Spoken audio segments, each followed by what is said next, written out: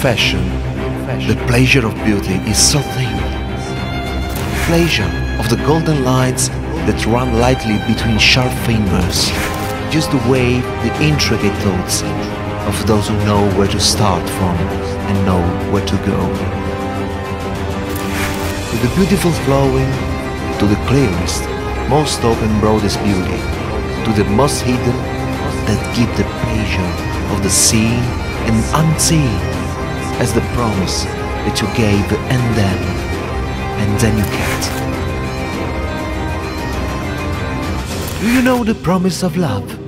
Here, this is the subtle pleasure of living the beauty, which opens thoughts and words to reach your heart. Do you know the colors of the heart?